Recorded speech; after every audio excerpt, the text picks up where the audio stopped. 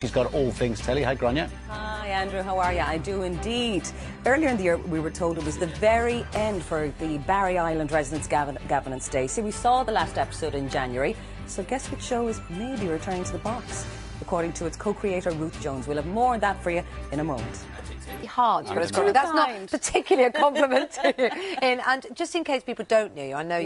you're a massive star in Ireland because is it Britain's Got Talent? It's over called the? All Ireland Talent Show. All Ireland Any Talent act, Show. any age, any size. Okay, but we're getting to know you over here as well now. It's when you turn to series like this that it's never as good. But I think they could definitely do a special. Okay. And James and Ruth, if you're watching, GMTV has somebody. Okay. She's looking for a start in the business. She's not very well known. Okay, let's give her a hand, shall we? Let's. Her Yeah. name is Kylie Minogue. She's looking for a part.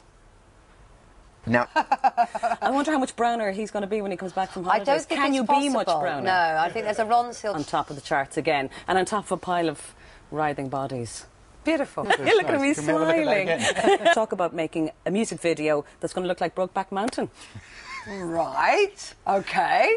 Lovely. Indeed. With them hugging and everything, it's going to okay. be great. Let's see. Let's I'm- see. let's Again, we see. couldn't show it in the morning. I like the idea of it. Yeah, it's here. Is that right? Gold star. Is that right? That's really, really good. Okay, that's great. Thank you very much. I'll be fluent in Irish by the end of the week. Yeah.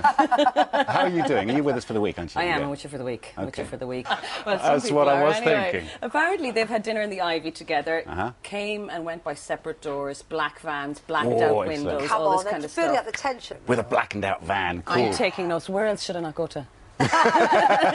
All right, Try the okay. Apparently, they're a the high road, it's lovely fine. couple. Now, as well as that, congratulations to Spain on their fabulous win last night over Uh-huh. the Netherlands. But have you ever wondered what would have what it would have been like if Rob Green hadn't made that big mess? And the ball hadn't actually Mm. landed in the net. Well, worry no more. There's a viral circulating on the internet. We'll have a look. His body just seemed to unwind. I think everybody would be delighted with that, apart from David James, possibly. yeah, Anyway, exactly. it didn't happen, and sure, there'll Oh, be again quite in it. fun. Bring in more virals this week. We like virals. Is that what those things are called? Yes, not as, po- as opposed to. Okay, As moving on. opposed to a melting pot. And it's about this guy who takes in his niece, who's deaf, to live with him. He's a detective. She witnesses a murder, or he, as he says, and I love this, murder. And I probably didn't do that justice. No, that's but good. yeah, I think we will see him saying it. So the conflict happens when he's trying to protect her but solve the case at the same time. Have a look. Okay. He's gorgeous, oh. isn't he? It's really good. It's a slow it? burner, but it is well worth watching. Okay. Right. Four-parter. Okay. Is it? I think not. Okay, thank you.